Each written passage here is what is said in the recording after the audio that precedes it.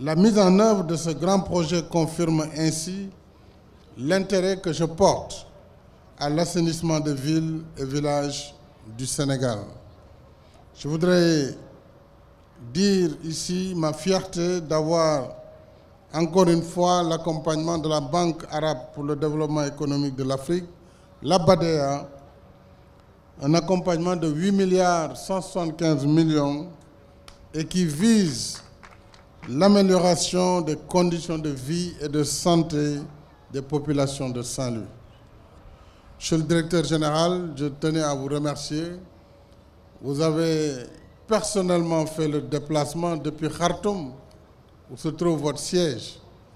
C'est un signe d'amitié et un signe de considération. Je voudrais vous en remercier. Nous aurons aussi, dans le cadre du PSE, le renouvellement du réseau d'assainissement sur 20 km, la réalisation de 1200 branchements domiciliaires, la construction d'une nouvelle station d'épuration et la réalisation de 4 km de réseau de drainage des eaux pluviales.